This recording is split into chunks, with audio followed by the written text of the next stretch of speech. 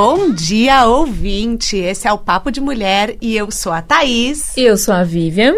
E hoje estamos ao vivo no Facebook. Olá, pessoal do Facebook! Olá! Além do nosso site da rádio, radiomundial.com.br. E hoje o tema de o tema de hoje é. Qual que é, Vivian? Gente, vida amorosa. Quem aí tá precisando falar um pouquinho sobre amor? Como retomar a vida amorosa, né, Como Thaís? recomeçar depois de muito tempo fora do mercado? Ai, que desafio, Vivian.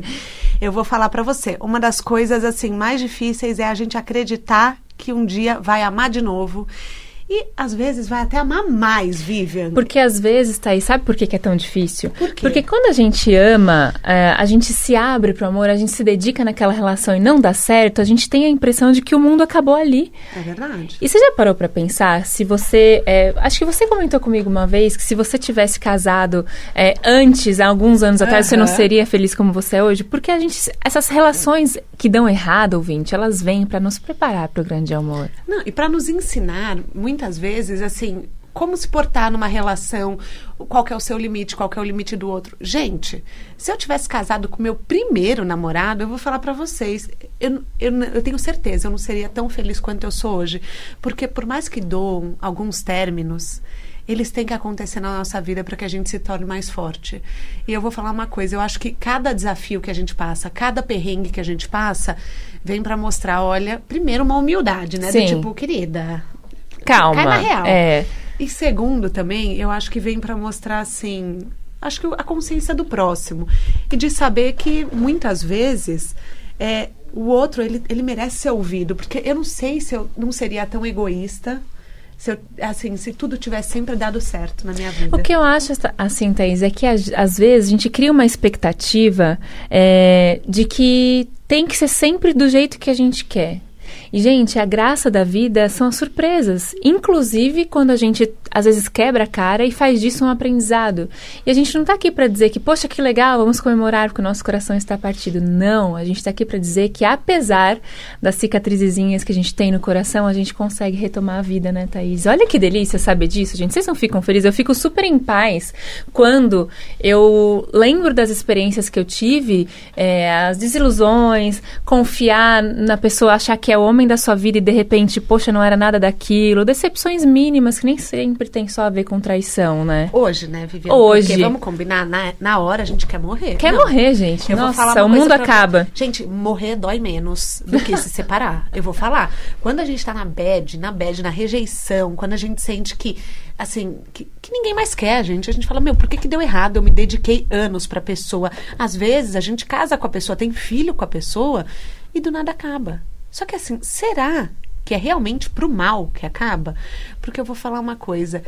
O, o- é, outro dia uma amiga que se divorciou falou pra mim assim, como a gente se acostuma a ser maltratada, como a gente se acostuma com pouco, com pouco amor, com pouco carinho, com pouca, assim, atenção, porque muitas vezes quando a gente tá anos num casamento e a gente não cuida, vamos combinar, galera do Facebook ou ouvinte, se vocês quiserem ligar, o telefone é 11 3171 0221 ou 11 3262 4490. Ouvinte, liga pra gente se você quiser desabafar, porque assim, a gente se acostuma com pouco e eh, muitas vezes é uma grosseria diária dentro de casa. Vivian, eu já vi amigos que brigavam o tempo inteiro. Sabe aquele casal que você olha e você fala, tá na cara que é melhor se separar? Aham. Por que, que não se separa? É, A gente falou um pouco disso do- quando a gente falou das migalhas, né? Da gente querer se É acostumar verdade. com a questão da carência, de, poxa, ruim com ele, pior sem ele. Mas eu acho que é, essa questão da carência, de fazer a gente simplesmente se acostumar em ser maltratado, acontece, Thaís, porque a gente perde a esperança no amor. Né? E aí, como que a gente faz, né, ouvinte? Você, tá, você já se perguntou como é que a gente faz, ouvinte, pessoal do Face que tá mandando aqui bom dia, bom, Bom dia, dia. pessoal. Eu achei legal aqui, só uma pausa pra falar, comentar. O Corredor Lincão falou: Bom dia, menina. Sou homem e amo o programa. Que legal, Eba! gente. É pra todos, porque se vocês. é, a gente fala pra mulheres, mas se os homens querem entender sobre mulher, tem que ouvir também, né? Com certeza. E principalmente pra si, porque a gente tá falando antes de qualquer coisa de comportamento humano. E quando a gente fala disso, é, de retomar a vida, o principal fato, ouvinte, é você é, acender a luzinha do amor de novo, né? fazer com que aquele friozinho na barriga volte apesar de tudo que passou. E como é que faz? Alguém aí já se perguntou? Você já se perguntou isso, Thaís? Vivian, já me perguntei e uma coisa que eu senti, assim, quando a gente termina um relacionamento, o que, que a gente sente? Um, é, nunca mais vou encontrar ninguém que goste de mim. Nossa. Nossa. Isso é, é um fato. É, totalmente. Segunda coisa. É, ai, que preguiça. Começar tudo de novo. Ter que ir no primeiro encontro, ter que, sabe, ter aquele jogo todo com a pessoa. Dorme com a pessoa ou não dorme. Beija a pessoa. Ter não vergonha beija. de começar a conhecer as manias, né? Exatamente.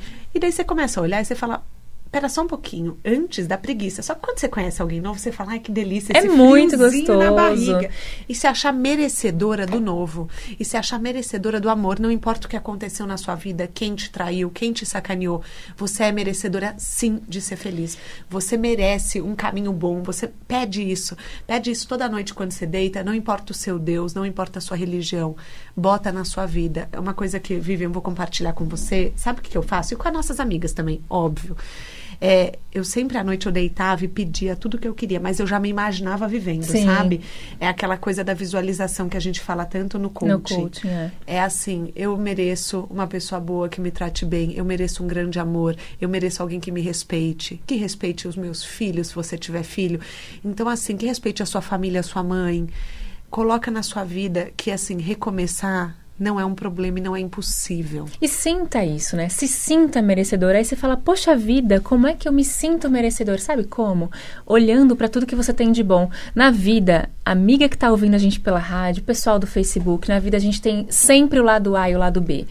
Todo, toda situação é neutra, a gente que vai escolher a emoção que a gente vai colocar. Você tem a escolha de colocar para aquilo um trauma e deixar de se relacionar pro resto da sua vida, uhum. olhar como um aprendiza aprendizado e começar de novo. Poxa, mas começar de novo dá preguiça? Às vezes dá, mas começar de novo dá friozinho na barriga.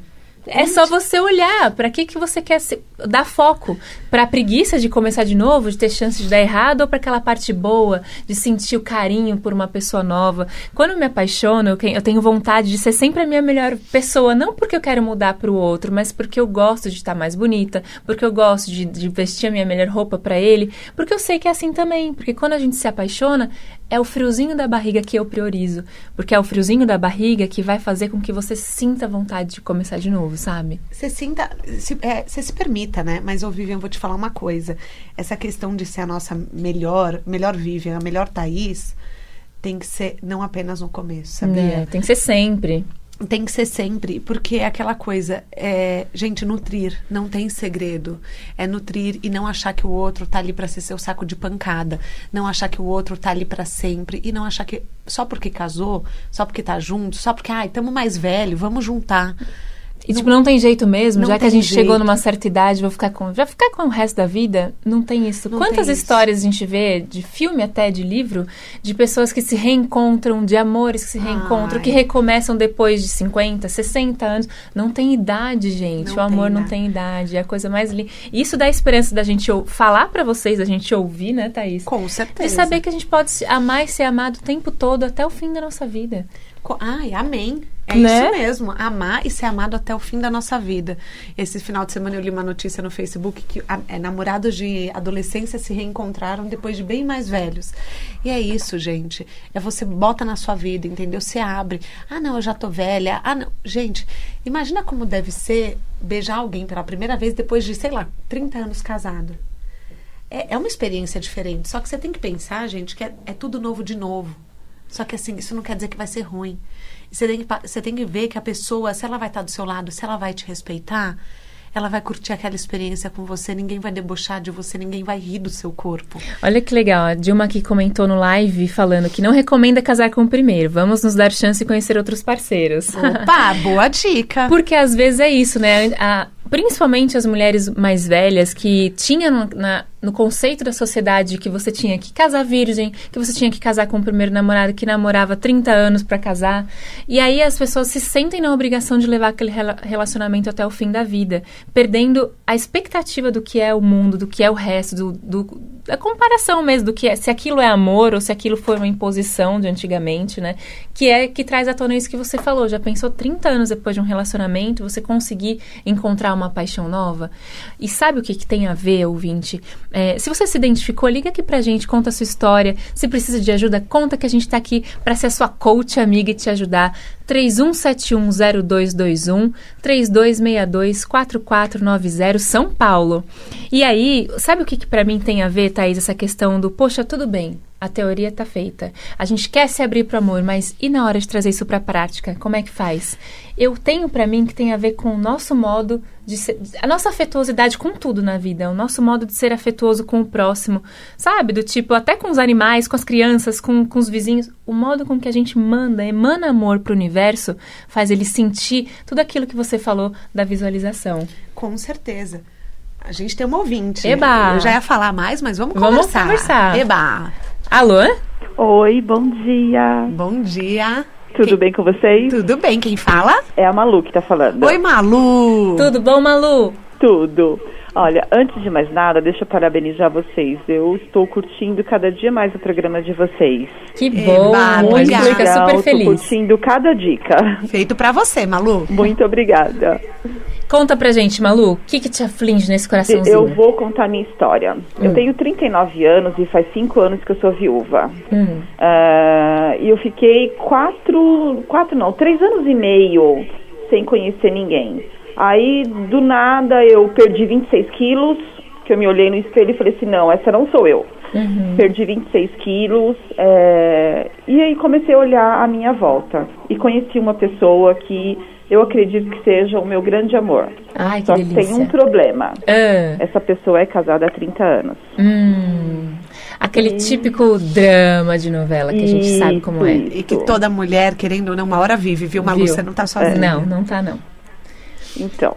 E aí, Aí- como é que, mas como que tá essa situação, Malu, agora? Então, a gente é, vai fazer dois anos que nós estamos juntos e a gente não se separa. A gente se vê ah, segunda a sexta, toda semana, Uhum. sabe? Assim, só que eu sinto falta de mais presença. De um companheiro, né, Malu? De um companheiro e de que essa pessoa, quando está longe de mim lá no final de semana, mande uma mensagem para mim falando: Oi, tudo bem? Como você tá? Estou com saudade, estou pensando em você. Uhum. Porque a impressão que eu tenho, meninas, é que chega na sexta-feira à noite, quando ele vai embora, ele simplesmente me apaga. Desliga, né?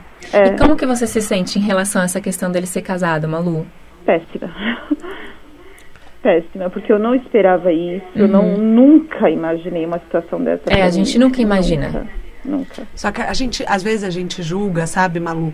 É muito engraçado quando a gente olha de fora, só que a gente não, não vive aquilo. A gente não, é, não sabe o que é se apaixonar. Então, o que, que acontece? Antes da gente passar por uma situação dessa, não tem como a gente chegar e falar isso é certo ou isso é errado. A gente tende a falar que é errado. Só que quem tá ali vivendo essa paixão, Malu, é você. Não, não tem, não tem julgamento. As pessoas que estão de fora, elas têm essa tendência, mas é, é por isso que eu te perguntei como você se sente em relação a isso. Porque não adianta eu te falar o que eu sinto ou a Thaís sente, porque só quem tá ali envolvido na situação sabe. Pra dizer como, em que situação vocês se apaixonaram, em que situação que tá o relacionamento dele, pra ele chegar ao ponto de se envolver com outra pessoa, né? A questão aí, Malu, é uma coisa chamada limite, né? Você disse que está nessa situação faz dois anos. É, provavelmente você já conversou com ele, já contou para ele que você se sente incomodada porque chega no fim de semana ele some. Mas é, como que ele se posiciona? O que, que você, qual que é a postura que ele tem em relação a essa sua queixa ou qual que é a expectativa que você tem desse relacionamento? Porque também não adianta a gente criar uma expectativa de uma coisa que talvez não aconteça. Não, é né? verdade. E Malu, é, muitas vezes ele pode deixar claro pra você assim, olha, eu não vou me separar. Só que às, às vezes a gente, apaixonada, a gente fala, não, não, mas ele vai cair na real que sou eu. Só que assim, a gente tem que lidar às vezes com os fatos e botar a gente em primeiro lugar. Porque Isso. agora quem tá em primeiro lugar é ele. Entendeu? Então, assim, Malu, eu não vou nem falar da sua força, sabe? Você é uma mulher que você já perdeu um amor, entendeu? Você já lutou, já emagreceu, você tá cuidando de você. Só que assim, agora quem tá em primeiro lugar é ele. E a gente tem que ver até quando isso vale a pena. Às vezes a gente tem que colocar o parceiro em primeiro lugar, sim. Às vezes ele precisa disso. Mas será que sempre Isso quer dizer, eu tô falando para você terminar, não terminar, não. Eu não posso nem falar esse tipo de coisa, porque espiritualmente eu nem sei qual é a história de vocês. Sim. Eu nem sei qual é o karma que vocês têm para viver, qual é a missão que vocês têm para cumprir. Só que eu quero que você cuide de você, Malu, porque feliz você não tá. É porque por mais que você fique. Não existe felicidade segunda a sexta, Malu. Né? Então, vale a pena você conversar com ele e se colocar um prazo para isso resolver, para você estar tá no primeiro lugar, é assim que funciona. Olha, vale a pena. É tão mais é, feliz estar com ele, mesmo nesses momentos que você se sente para baixo, que você se sente esquecida. Coloca numa balança, Malu, e pondera. Até que ponto isso está te fazendo bem? Até que ponto isso é felicidade ou é compensação? Porque ele pode ser o homem da sua vida, mas se ele não te faz plena, ele não tem sentido ele estar tá na sua vida desse jeito. Então, analisa. No, a, uhum. O conselho hoje, a dica das coaches aqui, não é para você chegar e falar, olha, chega, não quero mais. Não. não. Olha com, com cautela. Lembra do que eu falei agora há pouco? Toda situação é neutra. A gente que vai escolher como que vai se sentir em relação a ela. Você pode se sentir uma coitadinha porque ele é casado no fim de semana. Você se sente a coitada. Se sentir culpada porque isso também acontece. Ou simplesmente não sentir nada. Você que sabe. Mas você não é uma coitada, Manu. Não, é. Você tem que uhum. entender que você é dona da sua história. Você não está presa a essa situação. Você sai dessa situação quando você quiser. Sim. Por mais difícil que pareça, pensa que você já passou por desafios maiores. Malu, pelo amor de Deus, não se esqueça da sua força. Porque você pode se sentir coitada se você quiser. Mas da mesma maneira que você foi, mudou seu corpo, mudou sua história, você não quis mais ser a coitada. Então escolha ser uhum a sua prioridade, Malu. Eu espero que a gente tenha te ajudado, tá bom? Manda notícias, Malu. Muito. Um beijo. Se você estiver por aqui em São Paulo, vem pro nosso workshop que acho que a gente vai te ajudar. No dia 13 de maio. Depois a gente, a gente vai passa falar mais, mais informações. Um beijo, obrigada. Beijo, obrigada. Beijo. E é isso, né, Thaís? Não tem certo e errado no amor. Não tem, Vivian. E é muito fácil a gente julgar quando uhum. a gente está de fora. Sim. Foi, foi a primeira coisa que eu já falei porque a gente não sabe a história das pessoas. E só você, quando você está ali no campo de batalha, quando você está corpo com corpo, coração com coração, só você sabe o que você sente. Acho que tem, tem uma ligação. Alô? Alô, bom dia. Bom, bom dia. dia. É, meu nome é Luiz Paulo, eu falo aqui de Cajamar. Oi, tudo Luiz bom? Paulo, tudo Nosso bem? primeiro ouvinte homem ligando aqui pra gente. é a primeira vez que eu também estou escutando o programa de vocês e tá de parabéns, viu? Legal, ah, seja bem-vindo. Bem-vindo. Conta pra gente. Então, gente, é, na verdade eu sou casado há 10 anos, é, eu tenho 42 anos, tenho uma filha de 6 anos hum. e meu relacionamento se esfriou muito de um ano e meio, dois anos e meio para cá. É. Né, minha, eu não sei se foi eu, se foi minha esposa ou se é a culpa dos dois, é, mas é, ela mudou muito, está muito grossa, esse friozinho na barriga que vocês estavam comentando, a gente fala por mim, mas eu acredito que ela também não sente mais, né? É. A gente comentou de se separar por duas vezes em menos de sete meses aí, de outubro para cá. Aí tá bem complicado, né? Eu queria uma opinião assim de vocês. Vocês comentaram, ah, às vezes tem que ter um corte realmente para começar, né? E uma opinião de vocês. Olha, é Luiz Paulo, né? Isso. Luiz Paulo, bem-vindo. Obrigada por compartilhar a sua história. Olha, a primeira coisa que me vem à cabeça é que os dois estão lutando ainda. Uhum. Então, assim, quando eu escuto a sua história, eu vejo mágoa, eu vejo dor, só que eu vejo que, assim, ninguém pulou fora. Em alguma maneira, me parece que vocês ainda querem que dê certo. Só que você tem que pensar que ao longo dos anos, você não é mais a mesma pessoa e ela não é mais a mesma pessoa com quem você casou. O que, que acontece? Quando tem um filho, muda, às vezes muda de profissão, muda. A gente muda todo dia. O meu conselho que eu daria para vocês é conversem e assim, vê o que vocês querem.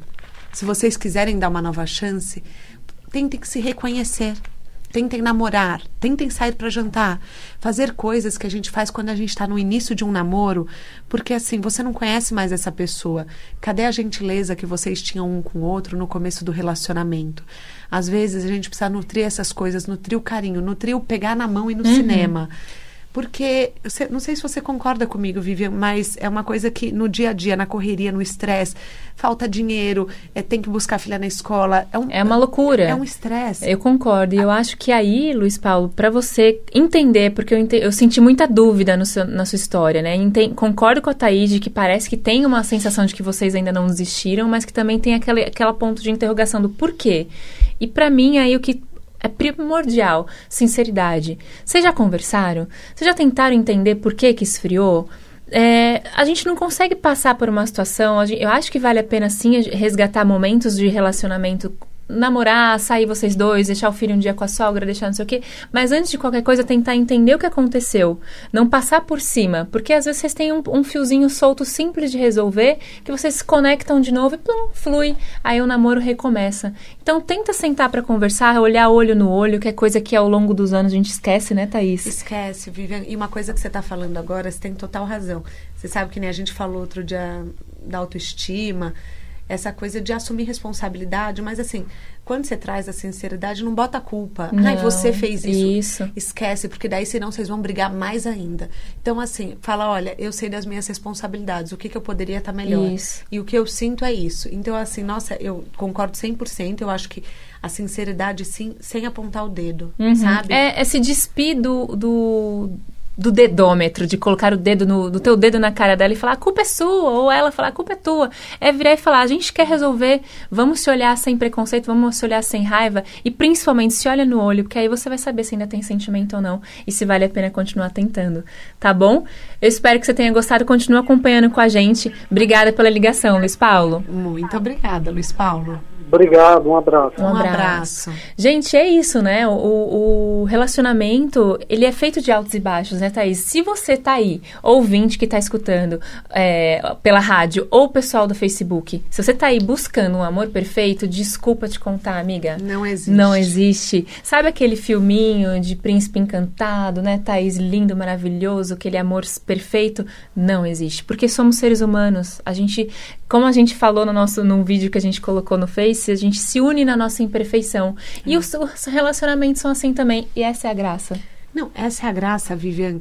Porque, vamos combinar, o que é perfeito é entediante, né? Muito. Já pensou? Você eh, ficar com um príncipe encantado que você não pode ser você mesma? Gente, eu não ia dar certo com isso. Gente, eu não quero ninguém perfeito, porque eu não sou perfeita. Não. Então, eu já parto do ponto que é assim, vamos se unir, assim, na nossa bagunça, a gente se acerta, a gente se Exatamente. entende. E é exatamente isso que a gente busca. A, troca, A o troca. amor. E o principal disso tudo, ouvinte, para você conseguir externar isso para ter um parceiro do seu lado, o primeiro passo é fazer isso consigo mesma.